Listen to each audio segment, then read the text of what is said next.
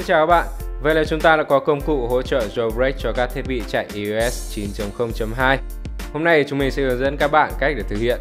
Đầu tiên các bạn cần phải có một chiếc máy tính cài đặt iTunes và hỗ trợ iOS 9 và Pangu 9 Để thực hiện jailbreak một chiếc iPhone chạy iOS 9.0.2 Ở đây thì mình sử dụng chiếc iPhone 5 phiên bản quốc tế. Để thực hiện jailbreak thiết bị, các bạn cần phải vào điện thoại của mình tắt mật khẩu màn hình và tắt tìm iPhone trong phần iCloud nếu các bạn đang bật.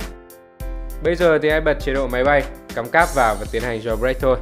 Khi kết nối thiết bị với máy tính, phần mềm iTunes sẽ hiện lên và các bạn hãy tắt nó đi. Trên máy tính của mình đã bật sẵn công cụ Pangu, các bạn chỉ cần nhấn chuột vào nút Start và làm theo hướng dẫn rất đơn giản.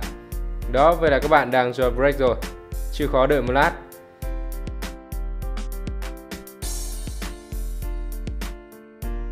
Khi chiếc iPhone của bạn khởi động xong, Pangu sẽ báo mở điện thoại lên với yêu cầu bật lại chế độ máy bay. Sau khi chạy được một lúc thì Pangu báo ejecting, yêu cầu các bạn chạy ứng dụng Pangu trên màn hình iPhone của mình. Nếu phần mềm yêu cầu được truy cập album ảnh, các bạn hãy nhấn Accept để đồng ý. Sau bước này thì máy sẽ tự động chạy đến khi nào báo 100% là xong.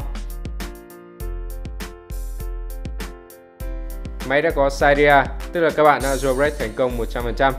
Quá trình thực hiện đơn giản vậy thôi. Chúc các bạn thành công!